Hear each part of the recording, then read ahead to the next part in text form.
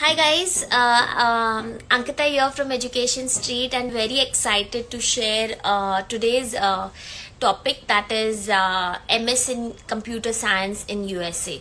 Way too popular, way too uh, you know uh, attractive, and uh, this has been uh, the most numbers of students even from our side which opt for this uh, course. Saying this, certainly it comes with lot of competition and hence uh, you need to be better prepared. So today's agenda for me to share is how the program is designed uh, how do they grade you uh, how do you choose your university for ms in computer science and of course what are the jobs and salaries which you would draw after this investment. So this is definitely uh, what the uh, today's uh, you will go walk out with information once you hear my instagram live for today.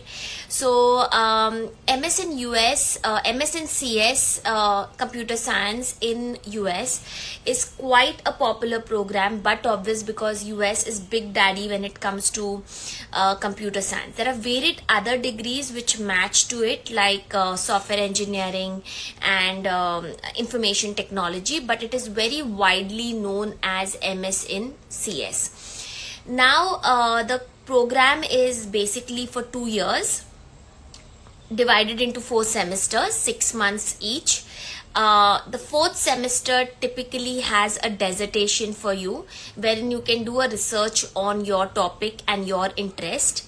Um, and that is how you can engage with uh, even an angle of doing a phd further in case if you're looking forward for.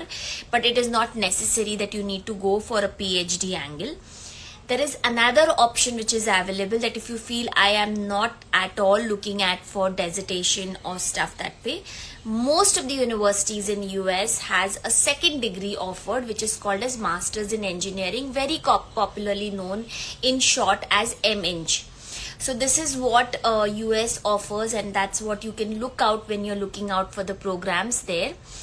Uh, a lot of students have different ideology about the program and hence i want to uh, share much more lighter on a bigger perspective when it comes to cs so yes certainly cs has fundamental and traditional programs uh, subjects the entire four semesters are basically called into credit systems. So in us uh, we are all alien to this term which is basically credit systems because we have subjects we have semesters and then we have a percentage or a cgpa but they work on credit system that means per subject one subject leads you into a three credits or whatever the university has. So the total two year program leads basically re- might require you to earn a degree of MS in CS ranging of a credit system from 30 to 40 typically it lies between 36 because one subject will give you 3 credits. I know it might get little more complicated but we are here to assist you in case. Just ping us and we will let you know okay? So the us universities have a different education framework maybe for ms in cs or whatever that you're looking out for. So they have 30, 30 to 40 credits per um, for different universities for this MS in US to be earned by you. So you need to have at least three subjects or two subjects per semester while you're studying in US. Sounds pretty much balanced and I would definitely say that US MS is quite balanced it gets pressurized when you're actually not able to uh, map about what they're looking out for okay? So there is no spoon feeding done. The lot of these programs are very practically oriented. And in fact i would say it is not difficult. It is what the students love uh, because that approach is very much missing here. And hence we love doing practically things so there are assignments, there are group assignments, there are uh, case studies and a lot of way that they map you for this program. So the gradings is out of GPA. So you have to have a good GPA out of 4. So typically if you do 3.5 and up, you should be really among the top 10% of the class. So this is how the um, uh, CS is planned. There are different tracks most of the university offer the best part about US universities is that there is a lot of tailoring done for your program. So the same number of students, the same two students in the university might have a very different transcript at the end because the choices are numerous. You are allowed to choose what you want to study. So you have data science track, you have artificial intelligence into it, you have business analytics into it, you have software engineering into it, you have information systems into it. There are ample amount of choices that you have. So when you're looking for a university in US, you need to surely go by the electives which they have. So there are two components when you choose the curriculum. One is the core curriculum hardly three or four subjects are fixed whereas all the other remaining 10 or 9 subjects are left upon you to choose how beautiful and how wonderful is that? Because that is something which we don't have an habit. Because even if we dislike or we really hate something we are never given a choice to drop that year in our education framework.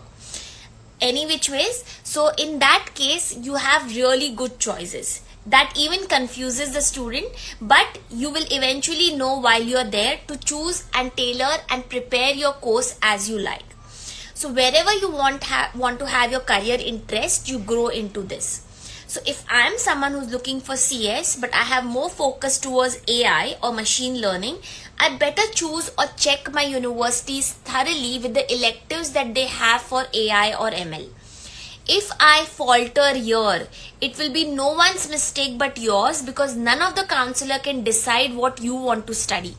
Okay, so as a counselor, I can give you the universities, I can give you an MS in US, uh, uh, MS in CS coursework upon what you have shared with me.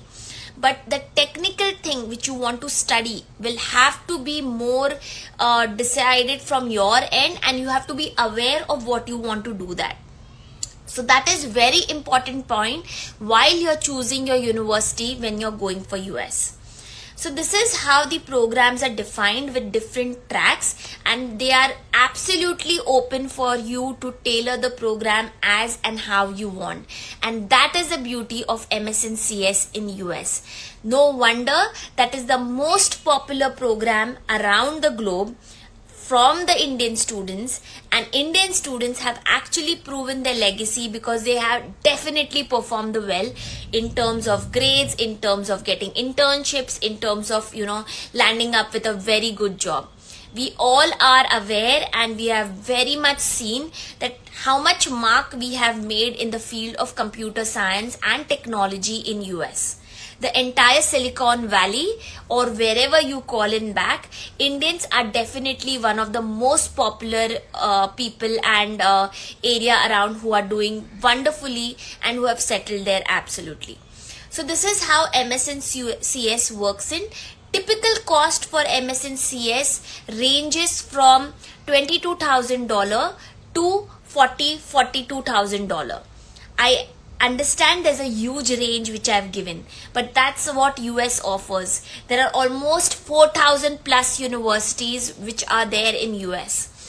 The differentiation is the state universities normally have a range of 22 to 27,000 dollars as their tuition fee whereas when it comes to private university the average cost is 35,000 to 40,000 per year so you can calculate a two year course accordingly the range which I have given in.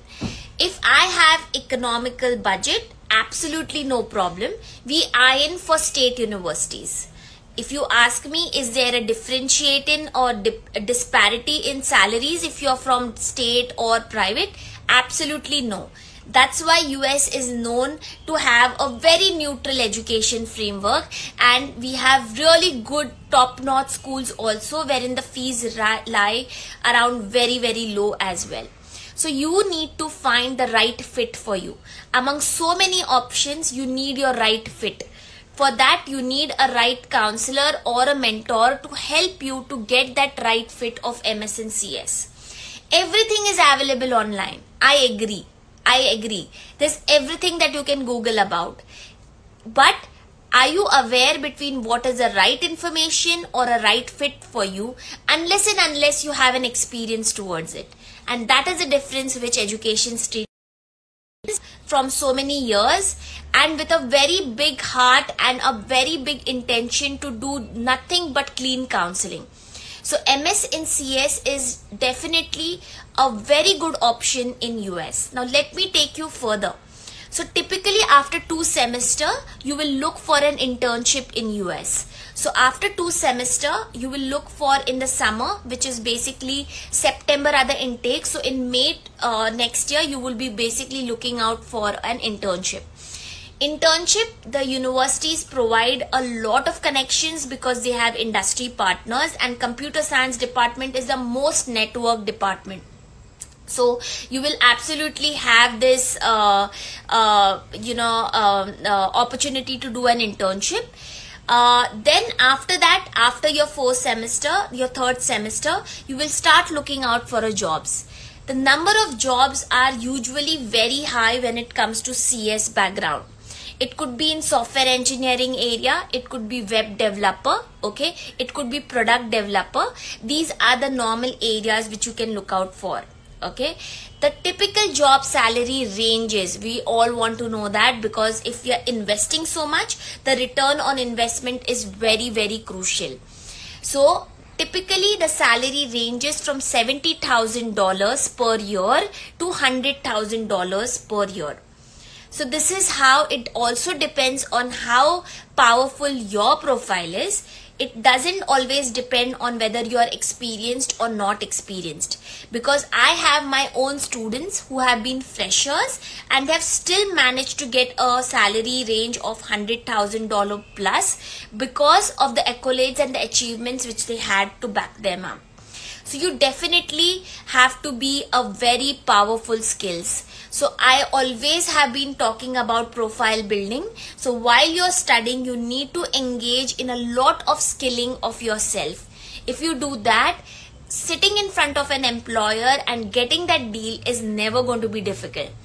So MS in CS, as I said, there are ample of universities. The best place to go and look out for the university reputation and university rankings would be usnews.com. So you can all look for that. However, a lot of universities are ranked depending on their department and hence all the information might not come directly as you see online so we would love to appreciate and you know help you out if you connect with us and we have all our services to provide you to get you the best fit of yours so I hope this session helps you and if you have any question related to MS in CS in USA, I will definitely like to answer them. So you can DM us or you can comment on this video. I have one more thing to share with everybody we have a very big webinar coming on this Saturday, which is on 19th of September at 6 p.m. If you have registered for it, trust me, you have a lot of take uh, to uh, uh, you know information to take away on that day so if you're looking for ms in us right from the job trends the salaries the kind of areas scrum administration the application process i'm going to cover entire a to z of ms in us in that uh, webinar for you. And we will not let you go empty handed we have really good offers. So if you're looking out for it please register in our uh, webinar which is the link is for which is already there in our bio. Hope to see you guys very soon. Tomorrow i come for with uh, yet another uh, insta live and i would appreciate if you would like to join us